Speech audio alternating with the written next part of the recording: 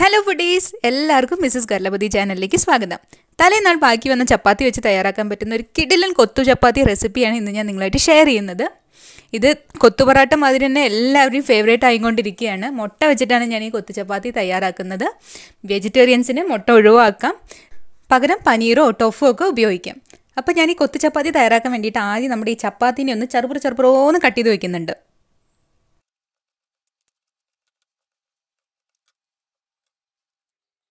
ഇനി നമുക്കൊരു ചട്ടി ചൂടാക്കാൻ വെക്കാം. ചട്ടി ചൂടായതിന് ശേഷം ഞാൻ അതിലോട്ടൊരു മൂന്ന് ടേബിൾ സ്പൂൺ എണ്ണ ഒഴിക്കുന്നുണ്ട്. എണ്ണ നന്നായി ചൂടായതിന് ശേഷം ഒരു ടീസ്പൂൺ കടുക് ഇട്ടൊന്ന് പൊട്ടിക്കാം.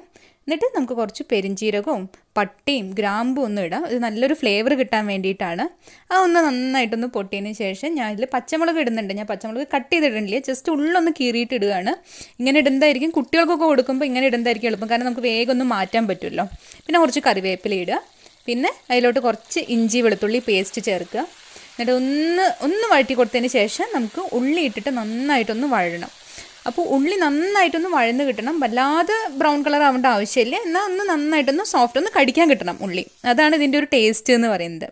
അപ്പോൾ നമുക്ക് ഉള്ളി ഒന്ന് വേഗം വഴന്ന് കിട്ടാൻ വേണ്ടി ഒരു പൊടിക്കൊരു ഉപ്പിട്ട് കൊടുത്തിട്ട് നമുക്ക് വേഗം ഒന്ന് വഴറ്റിയെടുക്കാം.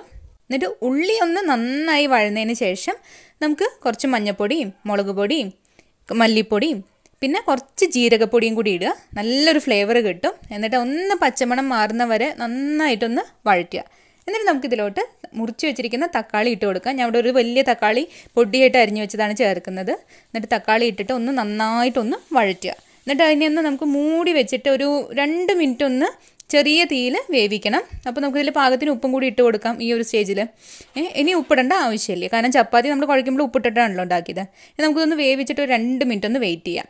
അപ്പോൾ കണ്ടോ തക്കാളി നന്നായിട്ട് വെന്ത് നല്ല സോഫ്റ്റായി സൈഡിൽ നിന്ന് എണ്ണയൊക്കെ വരുന്നുണ്ട്. ഇനി നമുക്കിതൊന്ന് വഴറ്റിയിട്ട് നമ്മുടെ മുട്ട ഒഴിച്ചു കൊടുക്കണം. അപ്പോൾ നമുക്ക് മുട്ട ഒഴിക്കാൻ വേണ്ടിയിട്ട് ചെറിയൊരു ഗ്യാപ്പ് ഇട്ട് കൊടുക്കാം. വേണ്ട എണ്ണ ഇറങ്ങി വരുന്ന അതിന്റെ കളറൊക്കെ കണ്ടില്ലേ? ഇനി ഇതിലോട്ട് നമുക്ക് മുട്ട പൊട്ടിച്ച് ഒഴിക്കണം. ഞാൻ ഇവിടെ രണ്ട് മുട്ട വെച്ചിട്ടാണ് ഉണ്ടാക്കുന്നത്. മുട്ട പൊട്ടിച്ച് ഒഴിക്കുമ്പോൾ നമുക്ക് അതിന്റെ ഷെല്ലൊന്നും വീഴാതെ ശ്രദ്ധിക്കണം കേട്ടോ. ഇനി ഇതിലോട്ട് നമുക്കൊരു നുള്ളു ഉപ്പും കുരുമുളക് പൊടിയും കൂടി ഇടണം. അത് നിങ്ങളുടെ സ്വാദനുസരിച്ചിട്ട് ഇടാം. എന്നിട്ട് ചെറുതായിട്ടൊന്ന് ഇളക്കുക. ആ മുട്ടയുടെ മഞ്ഞക്കരി ഉണ്ടല്ലോ അതൊന്ന് പൊട്ടുന്ന വരെ ഒന്ന് ചെറുതായിട്ടൊന്ന് ഇളക്കിയിട്ട് അങ്ങനെ വിടുക. അപ്പോൾ നമ്മുടെ ഈ മുട്ട എന്നുണ്ടല്ലോ ഒരു പകുതി വെന്ത് കിട്ടണം. എന്നിട്ട് വേണം ഇതിനൊന്ന് മിക്സ് ചെയ്യാൻ വേണ്ടിയിട്ട്. അല്ലാതെ അല്ലെങ്കിൽ മുട്ട വല്ലാതെ ഇങ്ങ് പൊടിഞ്ഞു പോവുകയുള്ളൂ. അപ്പോൾ നമുക്കൊരു കാര്യം ചെയ്യാം. ഇതിനൊന്ന് അടച്ച് വെച്ചിട്ട് ഒരു രണ്ട് മിനിറ്റ് ഒന്ന് വെയിറ്റ് ചെയ്യാം. ചെറിയ തീയിലിട്ടാൽ മതി. അപ്പോൾ നമ്മുടെ മുട്ട ഉണ്ടല്ലോ ഒരു പകുതി വെന്ത് കഴിഞ്ഞു. ഇനി നമുക്കിതിനെ ചെറുതായിട്ടൊന്ന് ചിക്കാം. ജസ്റ്റ് ഒന്ന് ഇളക്കി കൊടുത്താൽ മതി. നമുക്ക് ജസ്റ്റ് ഒന്ന് ഇങ്ങനെ ഇളക്കി ഒന്ന് പൊടിച്ചിട്ടതിന് ശേഷം നമ്മൾ മുറിച്ച് വെച്ചിരിക്കുന്ന ചപ്പാത്തി ഇട്ടിട്ട് അങ്ങനെ ചെറുതായിട്ട് നമുക്കിങ്ങനെ പതുക്കെ പതുക്കെ അടിയിൽ നിന്ന് ഇങ്ങനെ എടുത്ത് ഇളക്കി കൊടുക്കാം. അല്ലാന്നുണ്ടെങ്കിൽ നമ്മളുണ്ടല്ലോ വല്ലാതെ ഇളക്കുമ്പോൾ ഞാൻ നേരത്തെ പറഞ്ഞ മാതിരി മുട്ട വല്ലാതെ പൊടിഞ്ഞു പോകുള്ളൂ. അപ്പോൾ നമുക്ക് മുട്ട ഉണ്ട് എന്നുള്ളൊരു ഫീൽ കിട്ടില്ല. മുട്ട കടിക്കാൻ കിട്ടില്ല. അപ്പോൾ ആ ഒരു ടേസ്റ്റ് അങ്ങോട്ട് മാറും അതിന്റെ. അപ്പോൾ ഒന്ന് ചപ്പാത്തി ഇനി ഇട്ടിട്ടുണ്ട്.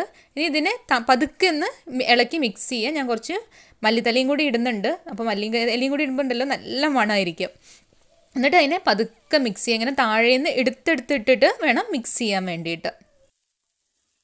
അപ്പോൾ ഈ കൊത്തു ചപ്പാത്തി നല്ല ക്രിസ്പി ആയിട്ട് കഴിക്കണം എന്നുള്ളവരാണെന്നുണ്ടെങ്കിൽ അതിനൊന്ന് നന്നായി മിക്സ് ചെയ്തതിന് ശേഷം ഒരു രണ്ട് മിനിറ്റും കൂടി ഒന്ന് അടച്ചു വെച്ച് വെക്കുക ചെറിയ തീയിലിട്ടിട്ട്. അപ്പോൾ കുറച്ചും കൂടി നന്നായി ക്രിസ്പായി കിട്ടും.